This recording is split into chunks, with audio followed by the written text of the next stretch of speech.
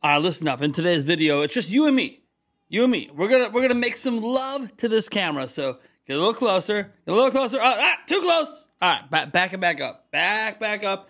Just a little bit. Uh, wow. What are we gonna talk about? All right. I'm broke. Shit. It is over. It is done. The end of Nintendo Prime is here.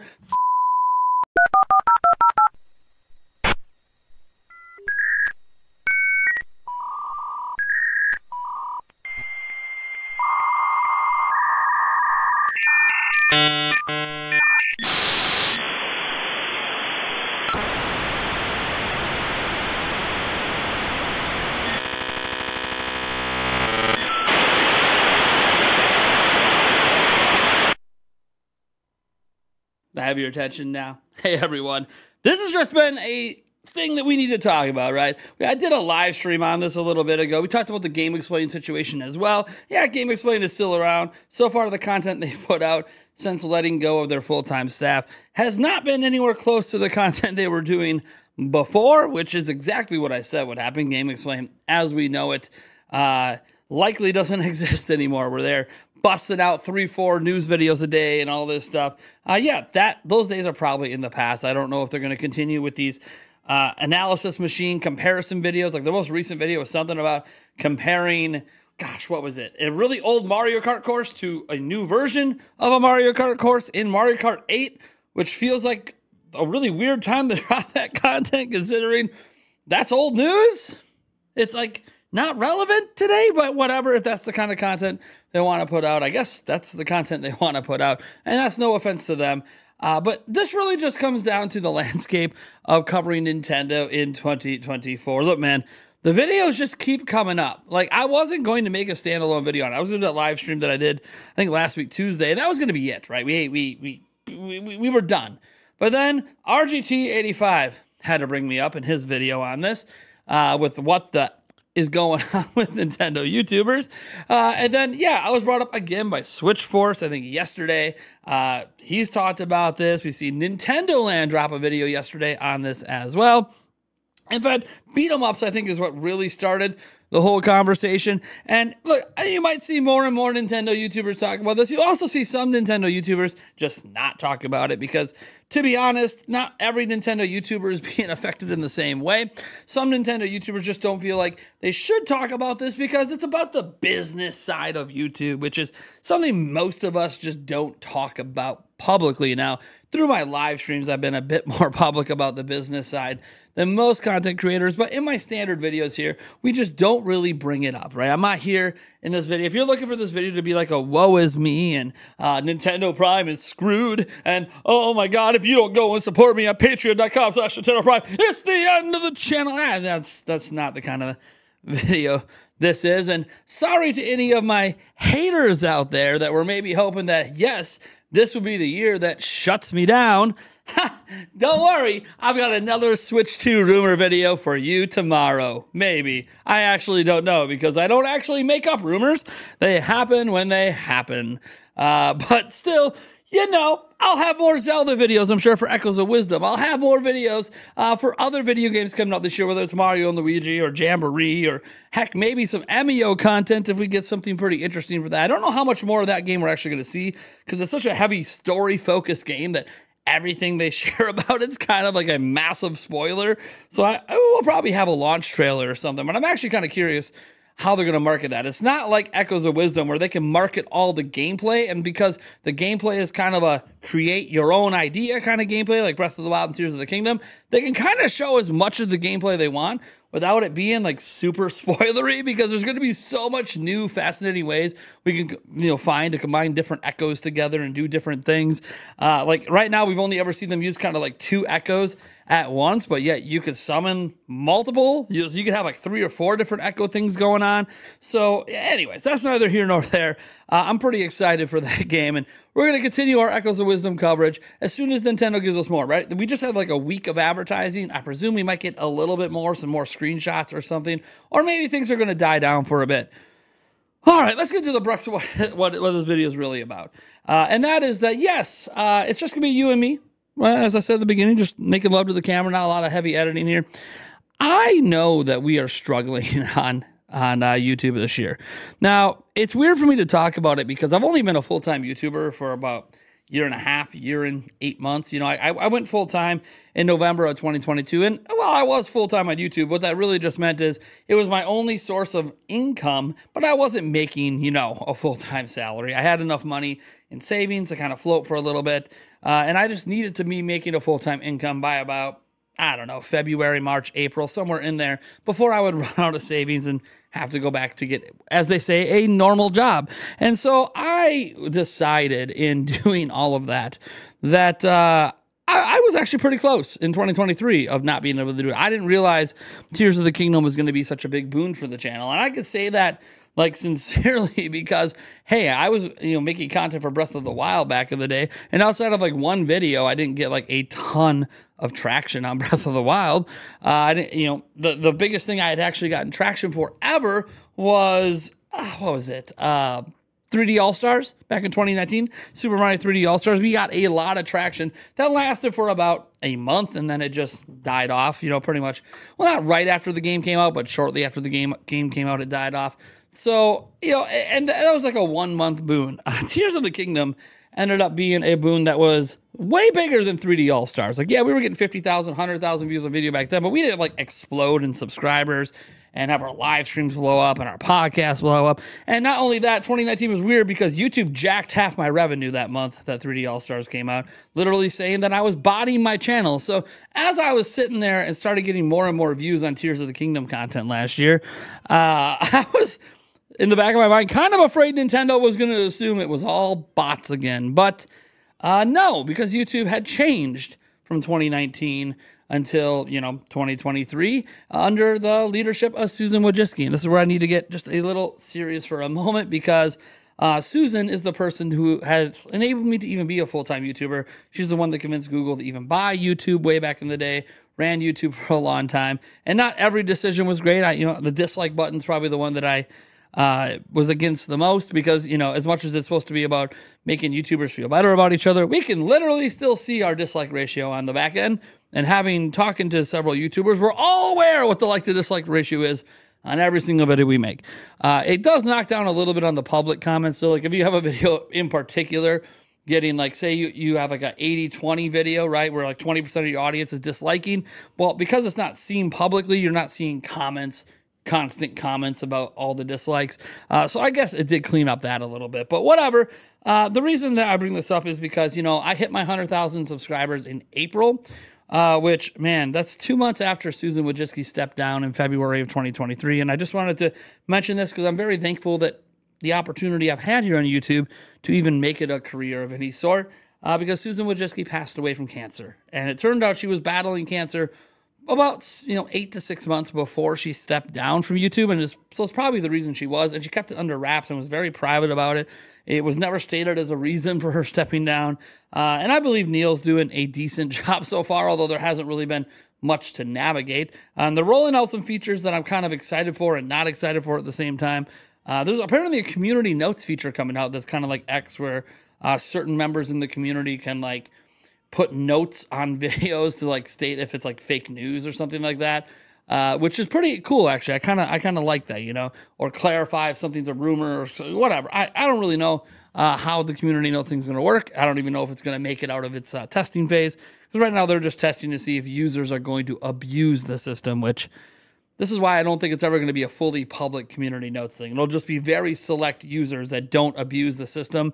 That's what I hope, anyways. If it's a fully public thing, oh boy, we're going to see a lot of trolling, just like we do with the fact that anyone can claim any video for any reason, and then you got to deal with YouTube's whole strike system, and it's just a pain in the ass. Uh, but setting that aside, Nintendo content creators are struggling. Uh, it's no secret. I'm not going to say I didn't foresee it coming. I kind of hoped it would. Uh, Nintendo Switch 2, you know, was rumored to come out holiday of this year for a long time and be revealed in March of this year. And that was sort of supposed to be like carrying the day, right? We went from Zelda to Mario to some filler content right into Switch 2. And instead, what happened is, well, guess what? Uh, Switch 2 isn't coming out until the earliest at some point in 2025. I mean, some people think March, that's what the rumors say, but then the rumors weren't correct on the last launch date or the last reveal date. but we don't really need rumors for like the system being revealed anymore. Thank gosh that Furukawa has actually come out and told us, hey, it's going to be revealed or there'll be an announcement or something related to the Nintendo Switch successor before the end of this fiscal year. So, like, we have from the horse's mouth that, yeah, we are expecting something by March to at least be said. But uh, the system, you know, we, we assume at the latest comes out holiday next year. Technically, it could be 2026. It's not like we actually know when it's coming out, but we really just need it announced. But the reason I'm getting into this is a lot of Nintendo content creators, as has been stated in all these other videos, they're struggling. Uh, the people talking about it are probably even struggling just a little bit, uh, even if not to the point that they're concerned about anything. And my channel is no exception. Uh, my channel has certainly seen its struggles. If you wonder why this year in particular, you've seen a lot of Switch 2 videos, especially early in the year, but now, you know, you're starting to see them come back a little bit. Well, because that's what's getting views. Let me tell you something. Uh, our first 10,000 view video on the channel was yesterday. And what was that video about? About leaks about Nintendo Switch 2 from shipping data. Uh, turns out that that's what people are interested in. Like I've made multiple Echoes of Wisdom videos. None of them have cracked 10,000 views, not since the actual reveal of the game. So it's it's been interesting out there that people uh, seem to only be looking for Nintendo Switch 2 content. And that's despite the fact that we have a bunch of games coming from Jamboree to Mario and Luigi to Echoes of Wisdom. Just the interest level in people searching for content on YouTube is significantly lower for those games. And obviously was significantly lower for the games before them. Princess Peach Showtime, or because uh, I made a little bit of content around that. I even did some live streams on it. Very low interest. Uh, I, you know, stuff like, gosh, what was it earlier? Uh, you know, Endless Ocean. There was just very little interest in that as well. Uh, we try content on different things as Nintendo content creators, and we have to gauge our audience interest compared to our own. And if uh, we're doing this for a living, which is something we don't like to talk about a lot, that means we're supporting ourselves, possibly supporting a family. I have three children and a fiance. She works full time too, but uh, I technically am what they say. What, what what's that term? The the breadwinner. Is that what they call it? Like I'm the one that like makes the most income in the house. So like we're most reliant. You like that's usually what the breadwinner means, right? Like it's not the other person doesn't work. It's just that it's, you know you're reliant on the breadwinner. The breadwinner is the primary provider to the family. Uh, so I you know the, there's a huge reliance on on the on the revenue in my house to support my kids. We got school coming up. Um, you know all the fees associated with that. But my whole thing is it has been a struggle. Uh, revenue is down uh, viewership is way down. Uh, I'm not just talking from the Tears of the Kingdom stuff because obviously I don't expect everything to do what Tears of the Kingdom did, where you're getting 50 to 150,000 views every video. No, but even after Tears of the Kingdom, we were maintaining like 15 to 20,000 views on videos quite regularly. Maybe it was just because of Mario Wonder, maybe it was just hype around the holidays, or maybe even just hype for the Switch 2 stuff that was supposed to maybe get announced in March, or it's rumored to be announced last March. Uh, so maybe we just got lucky to hold on to viewership uh, for a little bit after Tears of the Kingdom. But this year's just been a different story. We've actually had a game coming out practically every single month, but none of these games are like driving massive sales. They're also not driving massive like Paper Mario Thousand Year Door was hype, but like people just weren't really watching a ton of content on it for some reason. Maybe because they just know what the game is and didn't really need to. Uh, I don't know. But I'm just sitting back and going, yeah, we're struggling. Um, and it's tough. It's tough out there. If you're a Nintendo content creator that's used to the massive boon of the entire Switch era, this has been probably a pretty bad year for you. Uh, I didn't get to enjoy the massive boom of most of the Switch era. I've been making content uh, since late 2017, pretty much on my channel consistently, but I didn't really get a big boon from most of it. In fact, I'm actually one of those YouTubers that most of my success began last year if we're just completely honest. Like, yeah, I had a channel, had about 70,000 subscribers uh, before things really picked up for me, but uh, my viewership was in the toilet, man. We, we were actually doing really good one year. One year. We were doing really, really, really good. Uh, and then we got hacked. And that changed a lot at the channel after we got hacked. All our momentum was killed. We were blacklisted in searches, and it took a long time to get it back. about a year. Uh, the hacking happened in October of 2021. So 2021 was actually the first year my channel finally had some positive momentum. I wasn't doing it for a living, I had a different job, but we had momentum and it seemed like we might go somewhere. Then we got hacked in October and it all stopped. Um, and it just took us a long time to get back to where we wanted to be over a year, really until Tears of the Kingdom stuff. So, Tears of the Kingdom obviously took the channel to new heights and made my gamble to go full time after my hours were cut at my old job uh, seem worth it. And I went on to actually make, you know, I'm not going to tell you the exact figures, but I ended up making more money in 2023 than I made in 2022 for my old job with YouTube revenue combined in. So I would say that's a pretty successful year, a pretty successful gamble. Uh, but things are different now because all, most of my revenue coming in, again, I don't know how detailed people get here, but most of my revenue coming in now is not after taxes, it's before taxes. So I'm making more money, but I got to pay more taxes, of course, because not only is it not personal revenue anymore, it's business revenue. So you got business taxes, uh, which turns out are significantly higher. And I guess I've always known are significantly higher uh, than normal taxes. So my actual take home last year was probably less than the year before, but it at least was in the ballpark of being reasonable, especially for a gamble for your first full time year on YouTube. Like, damn, it's my first full time year. Uh, that's pretty successful. So let's go ahead and run away with it here in 2024. And we got off to a pretty hot start, mostly because of Switch 2 videos, because there was a lot of hype surrounding March. And then the bomb was dropped that the system is not going to be revealed in March and has been delayed.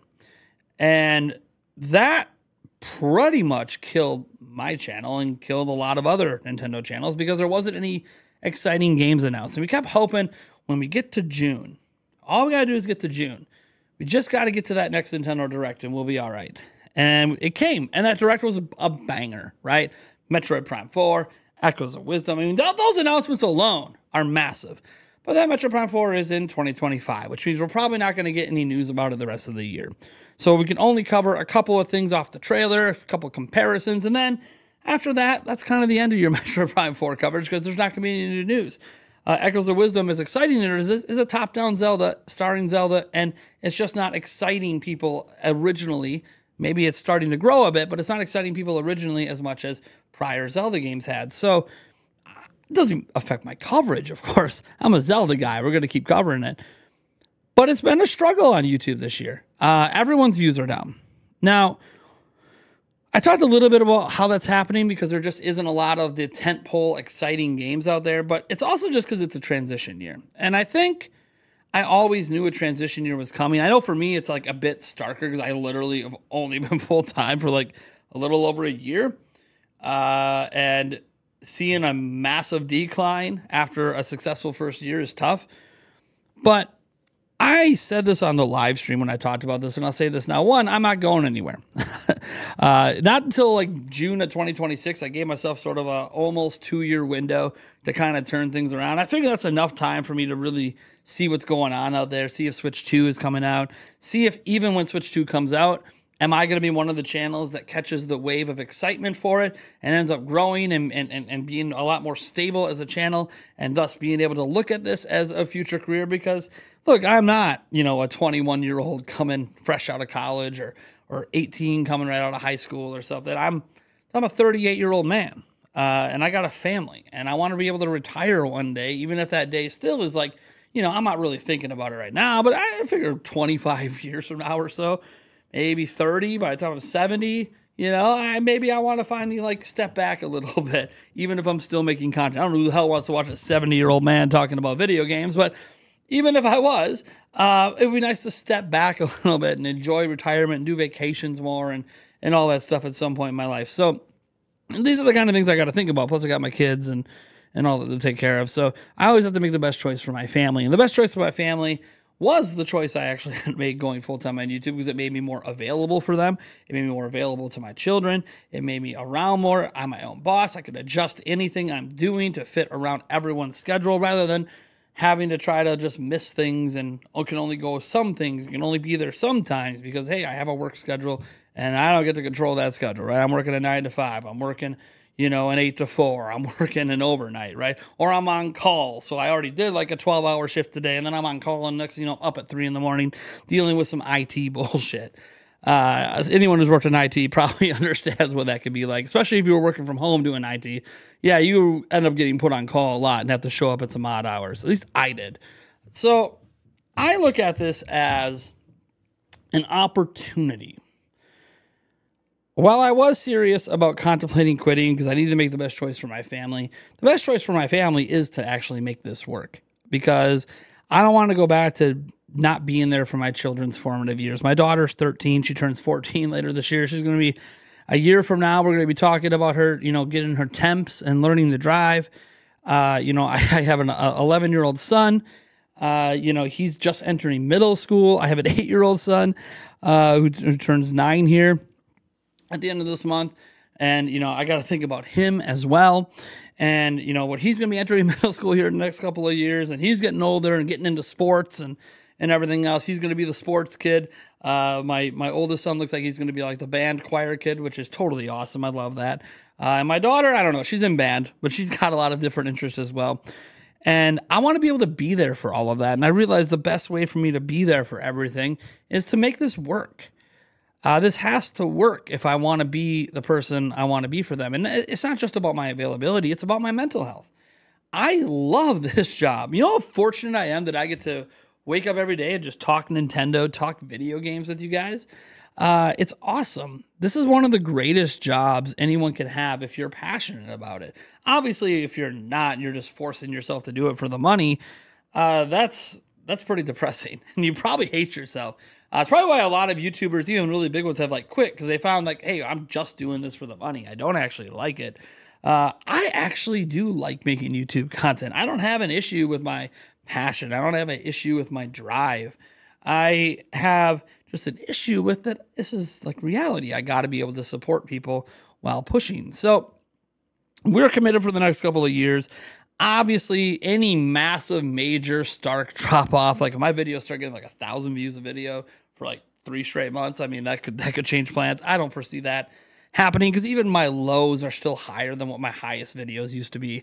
Uh, you know, two two and a half years ago. So like even my like floor has technically raised a little bit probably thanks to that tears of the kingdom boom but you know we need to get that floor raised even higher so i'm not here to ask you guys to give me money or any of that stuff what i am here to say is that be nice to everyone i've been noticing a lot of negative comments and i, I look i'm not just talking about my videos you guys are gonna hate away and every switch 2 video i drop or every Echoes of Wisdom video. Oh, why are you covering this? This video isn't. This game's not very good. Oh, why are you talking about Jamboree? Nobody cares about Mario Party. And look, I get it.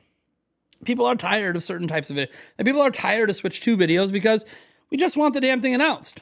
I'm with you, but Switch Two videos are also like what get views. I just showed you guys. My first 10,000 view video in August, which, by the way, I was getting significantly higher views last month covering Zelda, yeah, it was about Switch 2. I I feel like the audience has a disconnect with the creator. You guys, your job's just to show up and enjoy the videos. Uh, bitch if you want, praise if you want, be excited if you want. Uh, but as content creators, especially once we get to the point that we're doing it for a living, and you could argue that was the mistake. You should have never did it for a living. Yeah, but if we don't, then we can't give you the content that you enjoy so much as often. You know, some of you guys love my my three streams a week plus my podcast. Some of you guys love my daily content. You can't get that if I don't do it full time because it takes full time work to do it. And I don't even just mean like 40 hours. Most of us content creators are putting in way more than 40 hours a week. So, just to have this earnest conversation, I want you to be nice to everyone. I don't care if it's Switch Force or Nintendo Land or Beat 'em Ups or RGT 85 seems to actually be doing pretty well. He's slowly, even though, you know, he's a, a non-Nintendo YouTuber that's clearly a Nintendo YouTuber, he's has this year become more of a variety content creator and found little pockets and niches he can hit in to still be pretty good and still grow his channel. And I'm I'm really happy for him that he's been able to do that. But I'm a Nintendo channel. Uh, just through and through. That's what we're going to be talking about. You're not going to see a ton of PlayStation or Xbox. Like I've thought about expanding the channel, thought about rebranding the channel none of that's really what I want to do. I'm most passionate about Nintendo. That's my niche. And sometimes Nintendo's just not going to have the goods that drive the interest. By the way, this isn't me This dissing Nintendo's year. This is actually for me, one of Nintendo's best years of the Switch generation, just in terms of like what I'm interested in. Man, uh, my Echoes of Wisdom hype is, is hitting Tears of the Kingdom level, baby. Let's freaking go! It's so exciting. Like they're evolving top down Zelda in the same way they did the 3D Zelda, and I didn't even think they could do that. Like I couldn't even conceptualize how they could like Breath of the Wild a 2D Zelda. And that's what they're doing. And that is insane to me. And it looks so good. And they're doing it with a playable Zelda, which makes it all kind of make sense because it breaks away from Link and lets you focus more on magic abilities. And those magic abilities are what's enabling all this amazing gameplay. That's probably part of the reason I couldn't imagine Link, a top-down Link game, being like able to do this because it didn't make as much sense, but it makes so much sense with Zelda. And ah man, I'm so excited. Like Echoes of Wisdom Day one, we're doing a launch live stream. It's going to be, oh, man, it's going to be so much fun. I can't wait. And regardless of people even watch my Echoes of Wisdom con, go ahead. Keep having like 3,000 people watch those videos. I'm going to still make them because I'm passionate about it and I love it and I want to make content. I'm passionate about not just the content that makes money. And I'm going to keep doing that because I firmly believe that's why so many people subscribed in the first place. I can't just focus on the videos that make money. If that was the case, every day we're just making Switch 2 videos. And I know some of you believe that's all we do, but check my channel. That, that ain't the case. If some hype news comes out about, you know, say, uh, Legend ZA, because I am excited for Legend ZA, yeah, I'm going to make a video about it, even if that video gets like 2,000 views because I hardly have any Pokemon fans on my channel, which is rightfully so because when I talk about Pokemon, I sound like an idiot. In fact, I should probably start making fun of myself at the beginning of my Pokemon videos, how little I actually know about Pokemon, just to preface it so people don't go down in the comments and be like, you're just a fake fan. Look at this fake Pokemon fan. And wrong about that. And look, I get it. Like, if I mess up with Zelda, you know, I used to be like a Zelda expert, so I deserve some of that criticism. But like, hey, Pokemon, come on, I gotta get a break. Yeah. But I guess in the end, I just want people to be nice to content creators. We're all just trying to do what we need to do to get by. I'm trying to catch the wave, uh, and that's pretty much my story. I, I want to catch the wave of Switch 2 because uh, I, I want to raise that floor of viewership where even during the down times, we still have a floor that is sustainable uh, for the you know my family and everything else, and for me to realistically keep doing this. Right now, I would say it's arguably not sustainable, but uh, I've been very fortunate.